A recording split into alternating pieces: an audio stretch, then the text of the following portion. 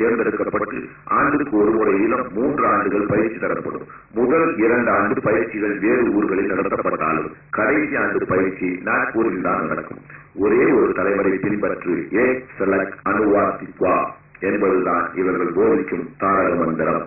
இந்த சாராக்களில் பயிற்சி பெறும் தொண்ணூத்தி ஒன்பது சதவிகித சுயம் சேவர்கள் ஆர்எஸ்எஸ் சட்டத்திட்டம் பற்றியோ ஆர்எஸ்எஸ் அமைப்பு பற்றியோ நிர்வாகிகள் யார் யார் என்பதோ அவர்கள் எல்லோரும் எப்படி எங்கிருந்து நியமிக்கப்படுகிறார்கள் என்பது எதுவுமே தெரியாது என்கிறார் டி ஆர் கோயல் தமது ஆர்எஸ்எஸ் என்ற நூலில் பக்கம் நூற்றி எண்பது.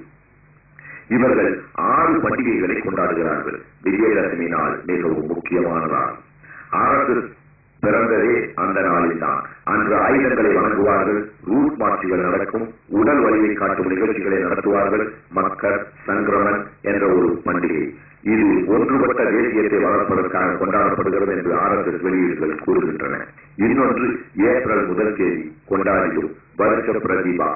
இந்த அடிப்படையில் தான் அவர்கள் புது வருடத்தை கணக்கிடுகிறார்கள். இது ராமன் முடிசூட்டும் பண்டிகையாக கொண்டாடப்படுகிறது. ஹெச்கேவரின் பிறந்த நாளும் இதுதான். மே மாதத்தில் இவர்கள் கொண்டாடும் பண்டிகை ஹிந்து சாம்ராஜ்ய திரோத்சவா. இது சிவாஜி மன்னன் முடிசூட்டி இந்து சாம்ராஜ்யத்தை நிறுவியதை ஒட்டி கொண்டாடப்படும் பண்டிகை.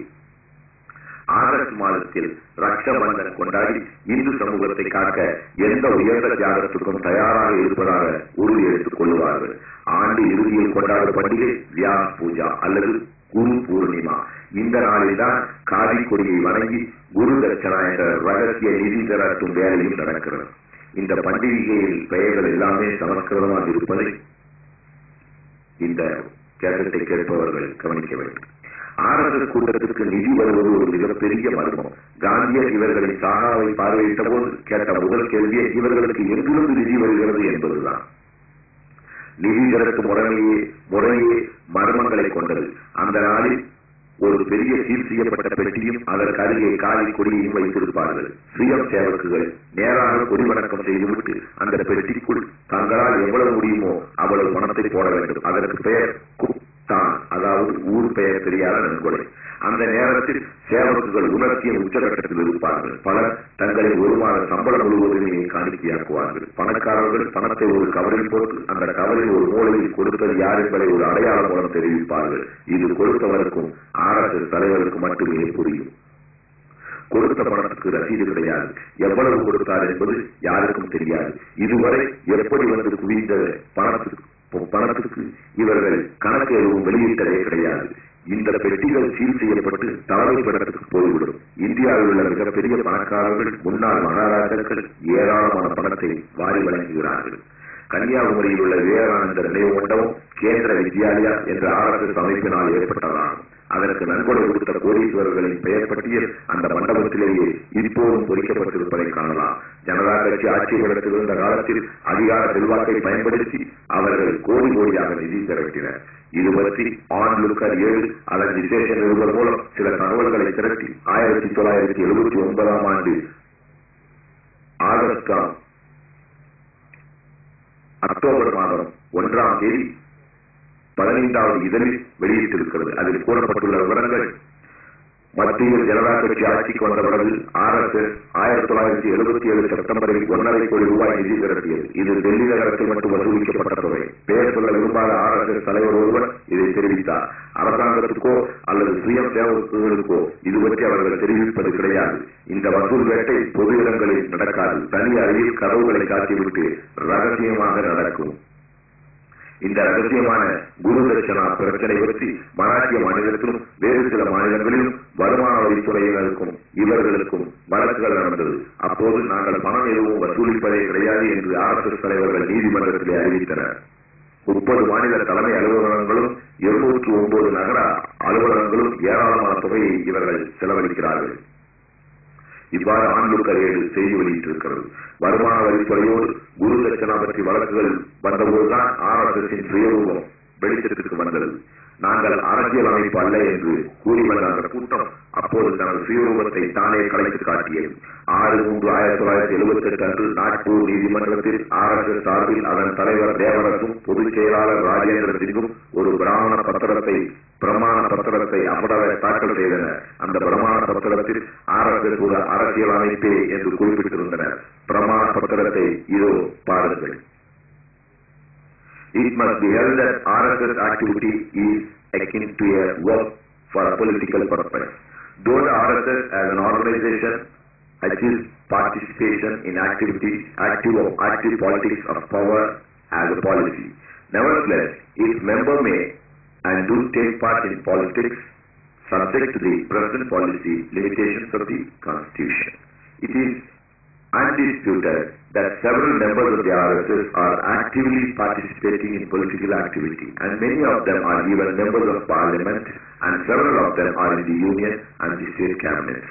RSS நடவடிக்கைகள் ஒரு அரசியல் நோக்கம் கொண்டதுதான். நாங்கள் அதிகார அரசியலில் தீவிரம் காட்டாவிட்டாலும் கூட அதோடு மட்டுமல்ல ஆர்எஸ்எஸ் உறுப்பினர்கள் தற்போதுள்ள ஆர்எஸ்எஸ் கொள்கை சட்டத்திட்டங்களின்படி அரசியலில் பங்கெடுக்க முடியும். பல ஆர்எஸ்எஸ் காரர்கள் அரசியல் நடவடிக்கைகளில் தீவிரமாக பங்கெடுத்துக் கொண்டும் இருக்கிறார்கள் என்பதை மறுக்க முடியாது. பல ஆர்எஸ்எஸ் காரர்கள் நாடாளுமன்ற உறுப்பினர்களாகவும் பல மத்திய மாநில அமைச்சர்களாகவும் இருக்கிறார்கள். இதற்கு பிறகு இதற்கு பிறகு ஆர்எஸ்எஸ் அரசியல் அமைப்பு அல்ல என்று சாதிப்பது எவ்வளவு பெரிய மோசடி. இந்து மதம் ஆட்சி புரியும் கோபாலம் இவர்களின் காது பெட்டியாக இருக்கிறது என்ற குற்றச்சாட்டு பல முறை எழுந்திருக்கிறது. இது பற்றி ராஜநாராயணன் தந்திருக்கும் ஒரு தகவல் மிக மிக அதிருப்தி தரக்கூடியதாகும். சண்டே பத்திரிகை கழித்த பேச்சு ஒன்றில் ராஜநாராயணன் இந்த திடுக்கிடும் தகவலை வெளியிட்டிருக்கிறார். அந்த கேள்வி பதில் பகுதியை அப்படியே தருகிறோம். கேளுங்கள்.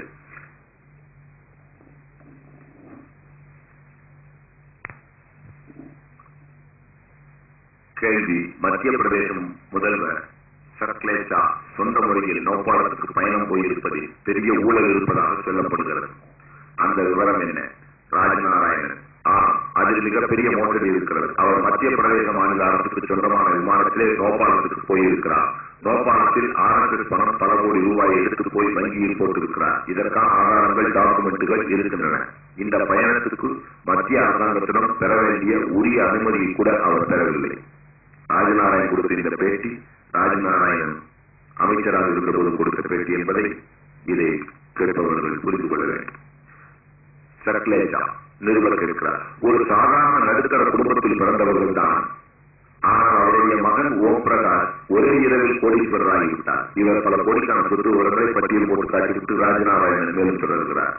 இமாச்சல பிரதேச முதலமைச்சர் சாந்த் குமார் ராத் நம்பர் ஒன். இவர் ஒரு ஆரம்பக்காரர் தற்போதைய பாரதிய ஜனதா பதிவு செய்யாமலேயே சட்டவிரோதமாக ஒரு பதிப்பகத்தை நடத்துகிறார். உத்தரப்பிரதேச மாநில ஜனசங்க அமைச்சர்கள் எல்லாம் பணம் சம்பாதிப்பதில் எல்லாம் குறியாக இருக்கின்றனர். அந்த மாநில சட்ட அமைச்சர் வங்கி சட்டம் தெரியாத ஆரம்பக்காரர்களை எல்லாம் மாவட்ட அரசாங்க வக்கீலாக நியமித்து விட்டார். அதன் அலிகர கலவரம் வெடித்தது என்று கூறுகிறார் ராஜநாராயணன். பேட்டி சண்டே இதழ் இருபத்தஞ்சு மூன்று ஆயிரத்தி தொள்ளாயிரத்தி எழுபத்தி ஒன்பது. அது மட்டுமல்ல இருபத்தி நாலு பத்து எழுபத்தி ஒன்பது அன்று ஜெய்ப்பூர் ஜனதா கட்சி ஊழியர்கள் கூட்டத்தில் பேசிய ராஜநாராயண் ஒரு திருக்குறும் தகவலை ஆதாரத்தோடு அம்பலப்படுத்தினார். ஒரே எண் உள்ள இரண்டு இரண்டு ரூபாய் நோட்டுகளை காட்டி ராஜநாராயணன் பேசினார். ஆர் எஸ் எஸ் காரர்கள் நோபாலத்தில் ஏராளமான பணத்தை போட்டு வைத்திருக்கிறார்கள். நோபாலத்திலிருந்து இந்தியாவுக்கு கள்ள நோட்டு புழக்கத்தில் விடப்படுகிறது. முப்பதாயிரம் பணம் கொடுத்தால் அதற்கு ஒன்றரை லட்சம் கள்ள பணம் தருகிறார்கள். ஆர் எஸ் எஸ் பிற்போக்கு சக்திகள் இதிலே சம்பந்தப்பட்டிருக்கின்றன. இதோ பாருங்கள் ஒரே எண் உள்ள இரண்டு இரண்டு இரண்டு இரண்டு ரூபாய் நோட்டுகள்.